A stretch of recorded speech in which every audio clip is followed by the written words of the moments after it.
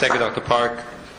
I hope that you're enjoying beautiful island of Jeju, Korea, and I welcome to uh, uh, welcome you to my country. It's always most difficult to be the last speaker because of BLS. You know what that is, right? Before lunch syndrome. But I'll try to keep you entertained for the next 30 minutes. Uh, so even though you have a hungry, hungry appetite, please uh, bear with me. I personally enjoy a lot uh, doing lateral window technique, ridge augmentation. However, my patients do not enjoy uh, when I do lateral window technique, as you can see here. And today I'd like to share with you how we can simplify the sinus grafting technique so that you and the patient can enjoy at the same time. So, when you have sinus uh, case like this, severely pneumatized, only one millimeter of initial bone height, which approach would you take in your practice? I personally think that most dentists would take lateral window approach, correct? But isn't there an easier way to approach this? And I came out with my classification of sinus, uh, and in my opinion, because of 3D cone beam CT scan, the width of alveolar bone plays greater role than the height of alveolar bone. Especially in class 2 defect, it is very important to open window through the crest, uh, such as in this case, rather than opening a lateral window in order to minimize morbidity to our patients. Uh, because whenever we raise big flap beyond mucogingival junction, going into basal bone, then patient tends to have more morbidity, pain, and swelling. And your patients will not enjoy the implant treatment. And because of improved surface, um, I think short and wide implant is an excellent, excellent treatment of choice uh, for our patients, but it requires minimum, in my, in my dictionary, minimum of 6 millimeter bone height and greater than 12 millimeter of bone width. Now, when we have greater than 6 millimeter and uh, greater than, uh, less than 12 millimeter ridge, then it is okay to do a blind technique because all we need to do is lift just a little bit uh, in order to uh, augment the sinus. However, in class 4 uh, morphology, uh, only techniques that will work is actually lateral window technique because uh, of severely pneumatized uh, sinus and uh, uh, very thin ridge. So in this case, as I mentioned, I think the best approach for our patients is through the crest. I would like to make palatal incision for many reasons. Uh, because we're making window through the crest, it is very important that we make palatal incision. Uh, so that in case of perforation, you do not have uh, flap opening within your crestal window.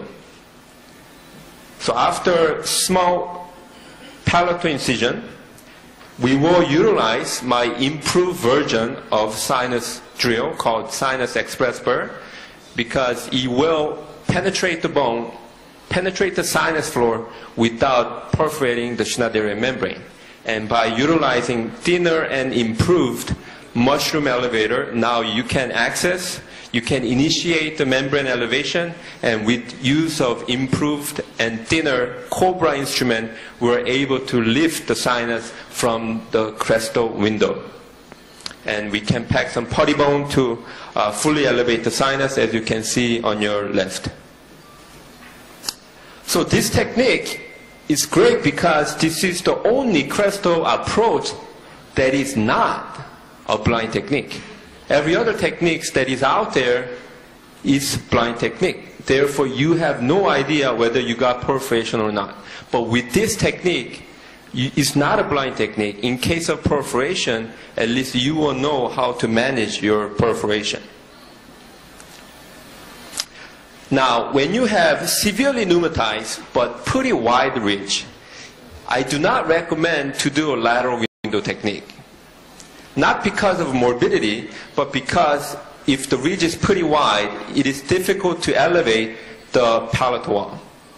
As you can see here, if the ridge is put it thin, on the upper, upper, upper jaws, it is easier to fully elevate the palatal wall, but if the ridge is pretty wide on the bottom jaw, it is difficult to fully elevate the palatal wall. So, and there has been a recent study which shows that wider the ridge, the vital bone formation is much less, and the quality of bone formation that we get from the sinuses are much less compared to thinner ridges. And main reason for that is lack of ability to raise the palatal membrane. Because if you think about it, if the ridge is pretty wide, it'll be very difficult to reach all the way to the palatal side. So second case I would like to share with you is a case that uh, a surgeon did a sinus lift about six months ago, uh, but unfortunately he did not lift all the way to the palatal side, and patient ended up with this type of bone augmentation. In this scenario, it is difficult to open lateral window now because the bone thickness is too thick.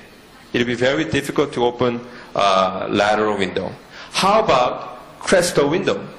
Well, because of very unpredictable irregularities, it will be very difficult to do crestal approach as well. So how can we salvage this type of cases uh, when patients present with uh, 50% uh, lateral uh, augmentation done? So after brainstorming, I decided to do palatal approach. So I raised a flap on the palatal side, and I made a small window.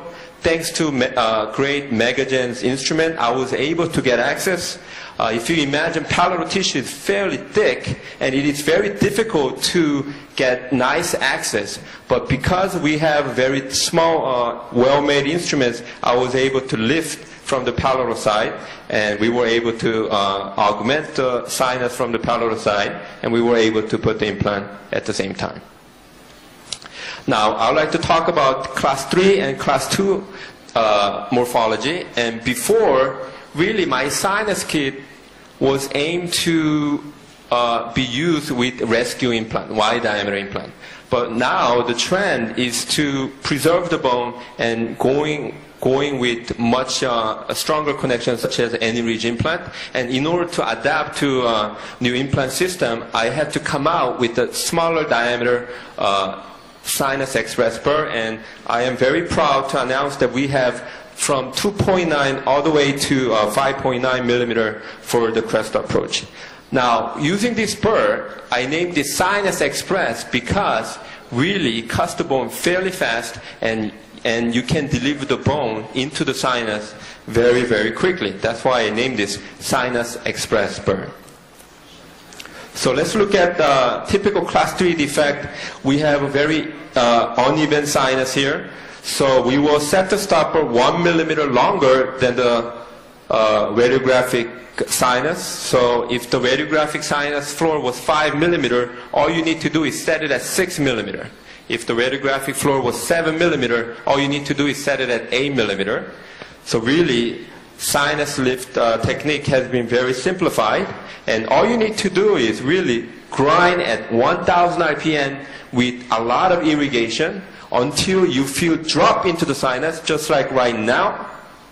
You feel drop into the sinus, and that's an indication that you penetrate the sinus floor, and you shouldn't really rotate uh, when you're inside the sinus. However, um, we it within the sinus for a few seconds, despite the fact that we were rotating at 1000 RPM within the sinus, you can appreciate that the membrane was still intact. And why is this possible? Is this magic? No, this is because of simple physics. Pressure equals force divided by area. By increasing the surface area of the burr, we were able to minimize the pressure to the membrane. It's a very predictable uh, way to do a sinus lift. Uh, anything you put in into the sinus, because it is a well-contained defect, uh, you, it will take, so in this case, I just put uh, whatever I had in my practice, which ha happens to be Alloplast, and we place uh, three uh, implants very, very quickly. So from beginning to the end, three implants plus the sinus lift took less than 15 minutes. And this is not good if you finish too quick, because patients do not want to pay. Let's talk about lateral window technique. So how can we make the lateral window technique less invasive? And only way that I can make it less invasive is to make it so easy that anybody can open a lateral window in less than three seconds. I really meant less than three seconds. So personally, as I mentioned earlier, I enjoy doing lateral window technique because personally I think it is very exciting surgery. You can see the membrane moving up and down and it, it is really exciting and I enjoy a lot. But once again, patients do not enjoy. So using a beer bottle opener technique, you can simply just open the lateral window and anybody can open uh, in less than three seconds. If you know how to open a beer bottle, you will know how to open a lateral window.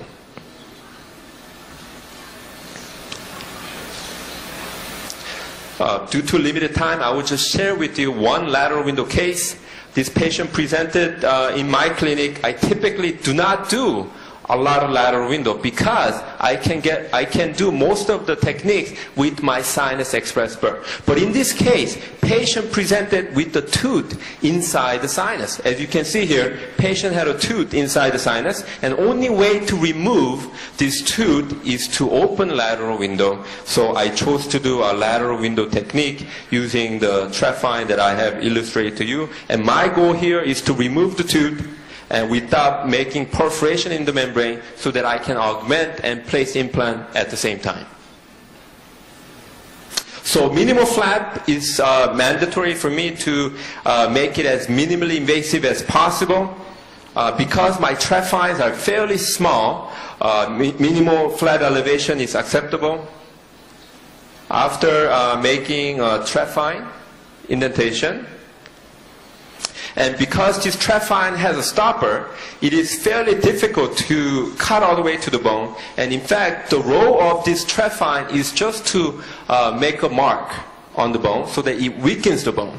So that when you put the beer bottle opener, you can pop open the sinus wall. It's just like a Coca-Cola can. Coca-Cola can is pre-grooved. So when you push it in, what happens? You push in that metal part. So same idea. After we apply the trephine, we will use the window opener as I have illustrated, and this is the quickest and simplest way to open lateral window in less than three seconds. So you have to be careful to avoid uh, cutting the uh, intraosseous anastomosis of PSA artery. And after elevation, we found the tooth. Uh, we removed the tooth, and we elevated all the way to the palatal side to maximize the blood supply to your bone graft. And I have used Megagen's uh, Bone Plus uh, because it's fairly well contained defect. 100% alloplast will be acceptable in this case. Uh, if it was a ridge augmentation case, I would recommend 50% uh, autogenous plus uh, alloplast. The bone that we took out from the original location Simply, I put it back to exactly the same location. So you don't have to put membrane over the window, and you can appreciate uh, the membrane mimics the uh, tooth morphology.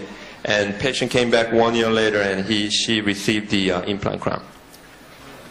Uh, last case I'd like to share with you in terms of sinus would be another class 2 case uh, because I enjoy doing class 2. Uh, matter of fact, majority of the techniques that I utilize in my office will be a class 2 technique uh, because I do not want patients to end up looking like a chipmunk after one week.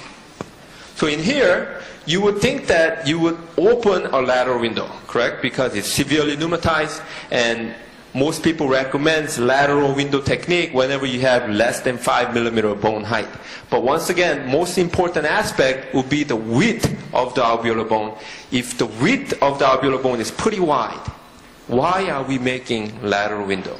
Why are we making, why, why don't we make crestal window so that we can lift the sinus from the crestal approach?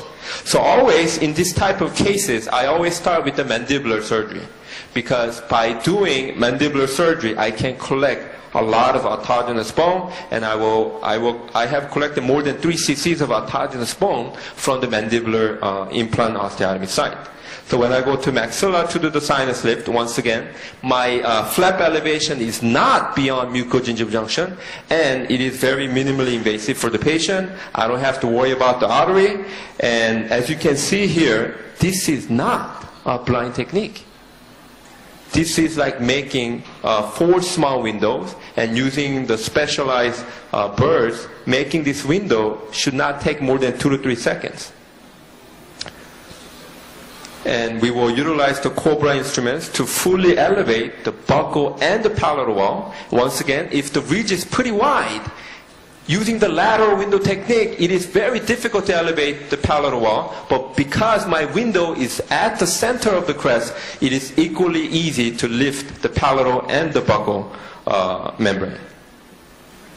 After membrane elevation, I will put some allograft in this case.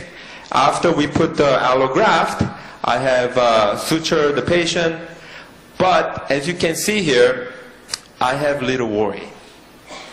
Because I have stabilized all this implant with just 1 to 3 millimeter of initial bone height, I recommend that patient not to wear any denture. And the patient said, are you crazy? I need my denture today. But I know that as soon as patient wears denture, this implant that I worked so hard to stabilize will go, in, go, go up to the sinus. Just like this case, patient wore a denture and implant was found under the orbit one week later. So I highly recommend the patient to be out of uh, denture, but he said, no way. I need my denture today. So what I have done is I utilize just any uh, mini implant. Uh, fortunately, patient had a tori, maxillary tori, and I put two implants on the front, and that was beginning of my uh, journey in palatal implant stabilization. Uh, and I have relined his denture to uh, uh, my mini implants, and patient walked out with the denture on the same day. Fortunately, everything went okay, but there was two disadvantages the system. Because only FDA approved mini implant is at least 10 millimeter in length, actually the implant came out through the nasal mucosa. It was too long. But because it was a temporary, it was acceptable because I was, plan, I was planning to remove the implant. Number two, the attachment that I had was a ball ring attachment. Because it is a ball ring attachment, every time patients swallow at night, because I instructed the patient to remove the denture, it bothered the tongue and the tongue had an indentation. Every time he swallowed, the tongue was pushing on this implant and it really made the tongue very, very uncomfortable. So, without this implant, I don't think this, this uh, permanent implant would have been integrated successfully. Uh, but because they held in place and retained the denture, uh, we were able to restore all the implants and patients were very happy. With help of uh, my mentor, Dr. Park, we are proud to announce that we have finally developed palatal denture stabilizer. I would like to talk about my palatal denture stabilizer because it plays a big role in my practice, especially when I do extraction and when I try to deliver immediate denture, you know how sometimes that immediate denture does not fit? But by putting three or four uh, palatal implant, we're able to uh, stabilize any uh, denture that is loose.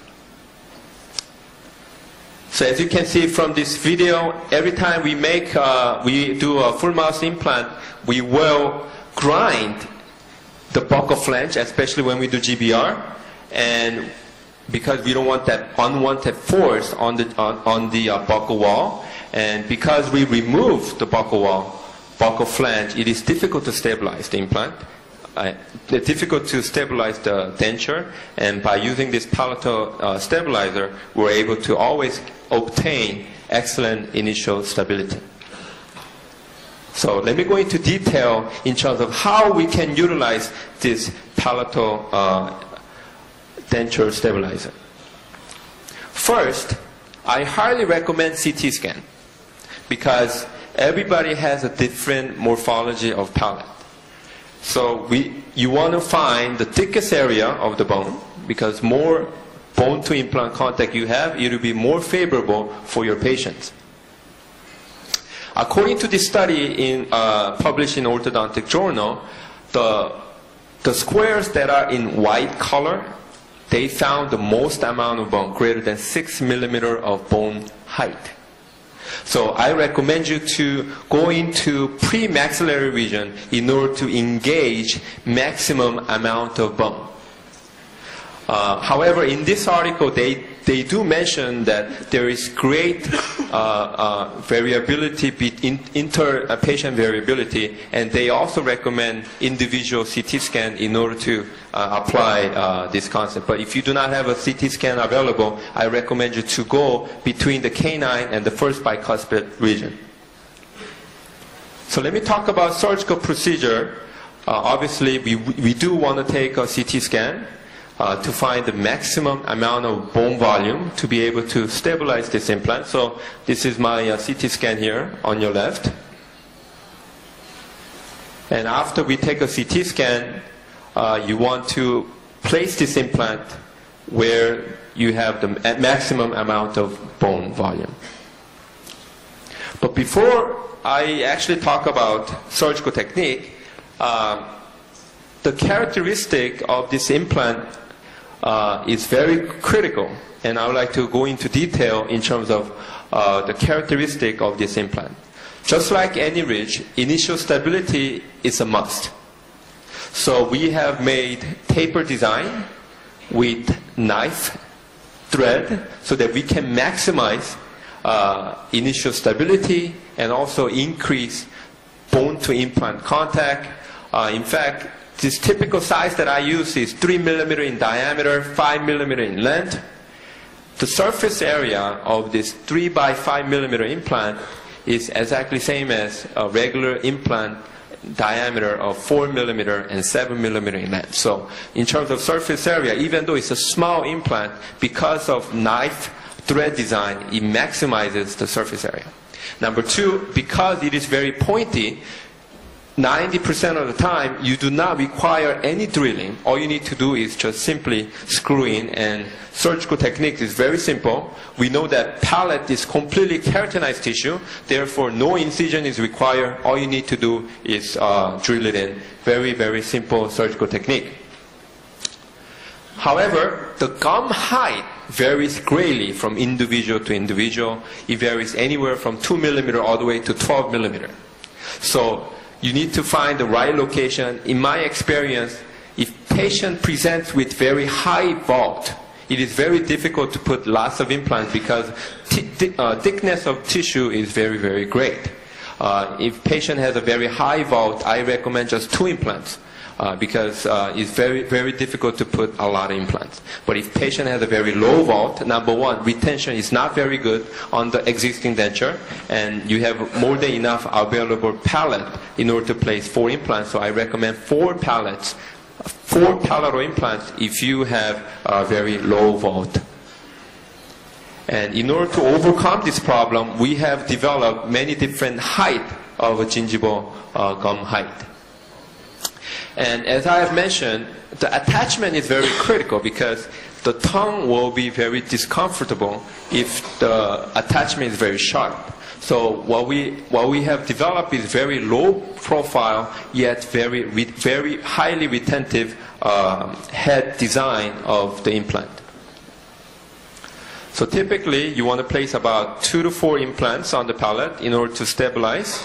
And I like to avoid the midline because on the midline uh, there is a lot of connective tissue. So at, uh, once again, you want to utilize the T, T ruler um, in order to guide you in the surgery uh, so that you know where the maximum amount of bone volume exists. And we typically put this T bar uh, over the incisive foramen to guide us over the uh, midline so that you know where maximum amount of bone volume exists.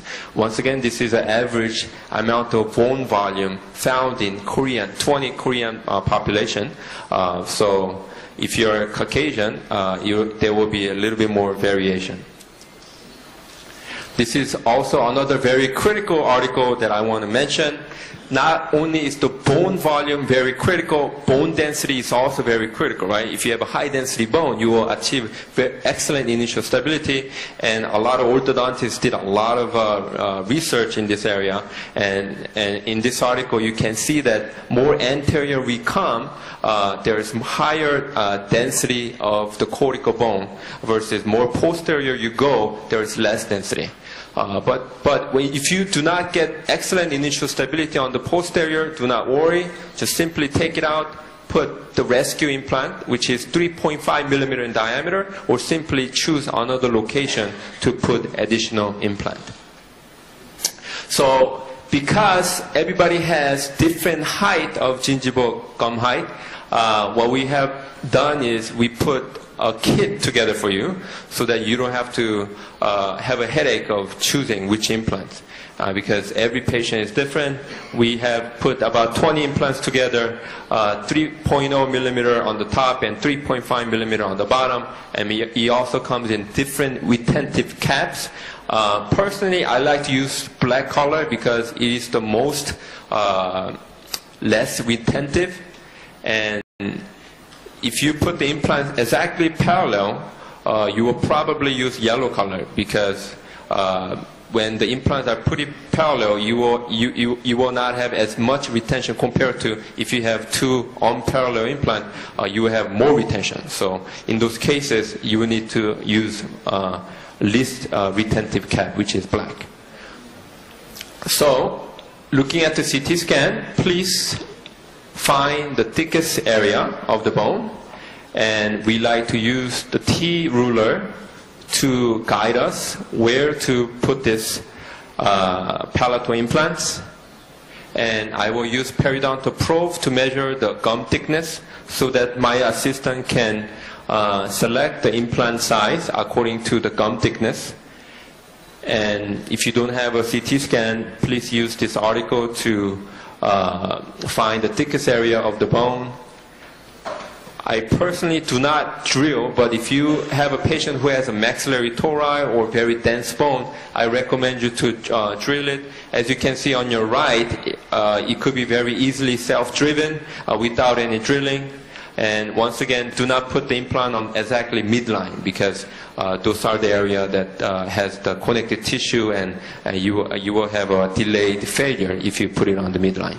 So a little bit off angle is uh, recommended. Uh, I usually use existing denture the patient has and we will uh, reline chair side in order to make this more retentive for the patient. So very simple procedure. Uh, let me summarize. I know you guys are very hungry, so let me summarize my key points. Uh, number one, find the thickest bone volume through a CT scan, and if possible, try to do bicortical fixation. Number two, choose appropriate gingival thickness so that so the implant does not stick out too much. If the implant is sticking out too much, then it will be impossible to remove the denture once you reline chair side because of undercut. Uh, undercut will prevent the uh, reline material to give. So please submerge the implant completely under the gingiva. And if the if the implant is uh, submerged too deep, uh, two weeks later you will not find the implant. So please uh, choose the appropriate gum height. Number three, denture should be fairly accurate. It should not be uh, very mobile because these implants are very small uh, and this implant only helps in retention, not to support the whole maxilla, but just for the retention. So you need, I call this implant assisted denture. It's not implant supported. So, so accurate uh, impression and accurate denture is very important so that you don't overload uh, this small uh, mini implants. These are only to increase, increase the retention value and it's not to support and it's not to uh, bear the uh, force. And if you do not have a lot of uh, good stability, consider using 3.5 millimeter implant as a rescue implant, and always try to uh, put the implant far apart as possible in order to get the tripod uh, effect. Now, our palatal stabilizer has uh, many benefits. Once again, it's a knife-threaded design to resist the lateral force and increase the bone-to-implant contact. It has a very low profile so that the patient has an excellent comfort, and it is a self-tapping, which means surgery is super, super easy. All you need to do is just screw in. And if you have a lot of resistance, I recommend uh, going counterclockwise and clockwise, counterclockwise, clockwise in order to uh, self-engage. Uh, if you have a lot of resistance, uh, especially male patient with very dense bone, I recommend uh, taking, taking out the implant and pre-drilling with 1.4 millimeter twist drill, which is in the kit uh, for the 3.0 implant, and 2.0 drill for the 3.5 millimeter implant. So if you want happy patients, I think minimally invasive approach is, is the way to, to do. Pero no sé qué me hicieron. And this is a patient that we, we Ah. line. She had a very loose denture. Yeah, she said uh, even her boyfriend will be very happy, but I did not charge for the boyfriend. Uh, I hope to see you next year in Thailand. And I would like to also invite you to Harvard University. Uh, we have uh, four days of evidence-based uh, uh, dentistry seminar plus a cadaver workshop in, in April. So uh, we do this every year, and this is our third uh, annual meeting. It's a great, great seminar. So I, I would like to invite you to our my university, and I hope that you enjoy rest of the time in Jeju Island. Thank you very much.